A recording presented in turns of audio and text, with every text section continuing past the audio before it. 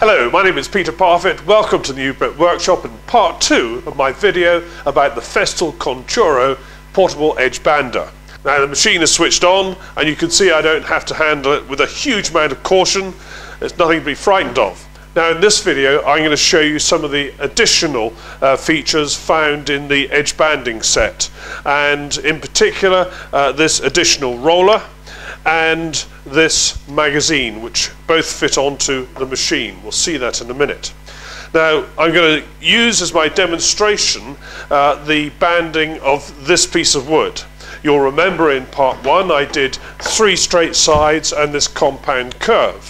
Well this time uh, these curves are pretty tight. I've got uh, an internal curve here with a radius of 10 centimeters and external curves here of the similar radius, but it's all quite tight. Well, for the first uh, demo in this sequence, I want to show you how I go about doing this fairly tight internal curve here. Now for this, I'm going to fit uh, the additional roller, which is part of the uh, edging set. And it's very simple to fit. There's a little indent here and up above here, and this just fits in and clips in place. It's as simple as that. Right, I've loaded my uh, material for the edging and uh, now I've got to really take care. I'm using the additional roller in this concave curve to push the edging against uh, the wood. Now one has to take care to make sure one keeps applying pressure to the edging as one goes. Uh, we start in a normal manner. Let's see how we get on.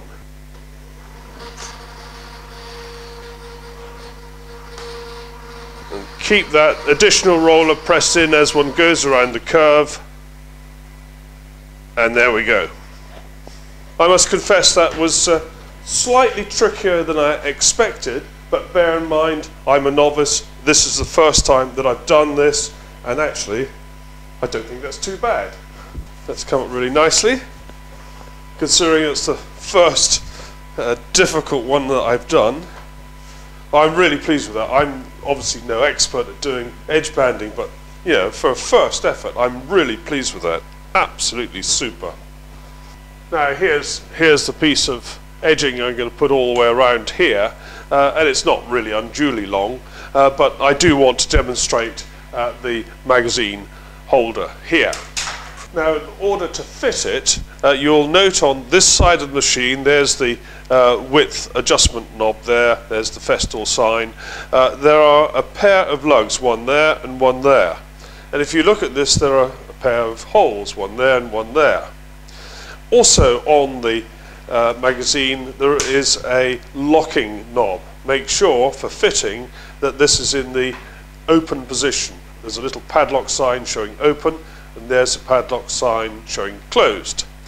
And I found that the easiest way to do this is to locate the left hand pin first and then give it a little wiggle over and you encourage it down like so and then when that's done lock it with the knob there and that's it firmly in place. Now in order to use it uh, we need to coil up our edging such that the side that the glue is going to go on is on the outside.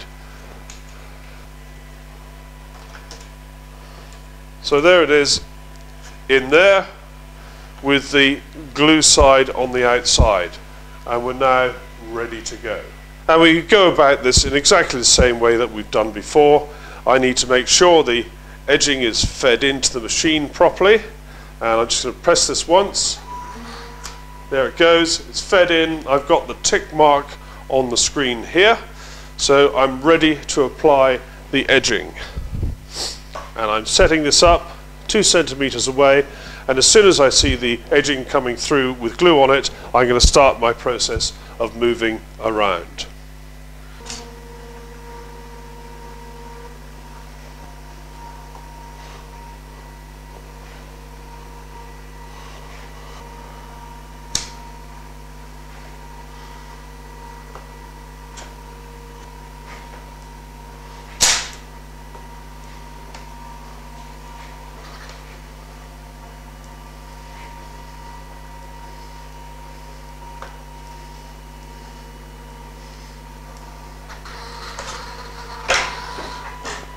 And there we go, all the way through to the end.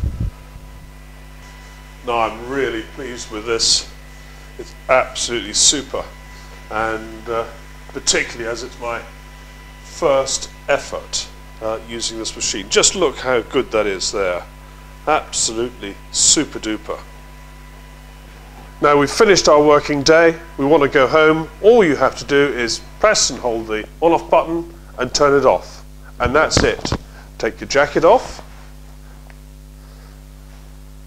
text your wife to say you're coming home early, and off you go. Bye bye. Well, I hope I've been able to show you just how easy it is to set up and use the Festool Conturo, even on difficult pieces like this. And bearing in mind, before I did these two pieces, I'd never used the machine before. I had no practice goes whatsoever. Now, the unique thing about this machine, apart from the fact it's got the Festool name on it, of course, is that it uses these solid glue blocks and only the glue that's required for the task in hand is melted. So you don't have all that hot, dangerous glue floating around. The machine can be handled quite easily. There's very few places where the machine gets hot at all. Now, the machine is easy to set up, there's virtually no maintenance, and it is an absolute joy to use. Now, in this video, I've shown you a couple more items from the edge trimming set uh, the magazine for holding edging, and also the additional roller. The only things I've not mentioned at all is the soft pads which go underneath here uh, to protect delicate surfaces uh, and also there's a, a hard polishing pad which I've not mentioned. Otherwise everything has been shown already. Now, I really do suggest that it's a good idea to get the edge trimming set if you're getting the Conturo. There is so much in there that is so very useful. Now, in these two videos, you've seen me use the Festool MFK 700. It's the edge trimming router. And again, this is the first time I've ever used it, uh, and I realized just what a sweet little router this is. And it's a perfect little tool uh, to support a process where you're having to trim edging. Now, if you need any further persuasion to get hold of the Festool Conturo portable edge bander, then go and get yourself a copy of the Festool manual. It's called The Perfect Edge. Contact your Festool dealer and they'll send one to you. Alternatively, go to their website and you can see an electronic copy from there. Now, I've bought a lot of Festool kit in my time and I haven't been disappointed with a single item and I'm sure you won't be disappointed with the Conturo. I think it's brilliant. I'm really grateful to Festool UK for letting me borrow all of this kit so that I can demonstrate it to you. The sad thing is it all has to go back tomorrow. Thank you very much for watching. Take care. Bye-bye.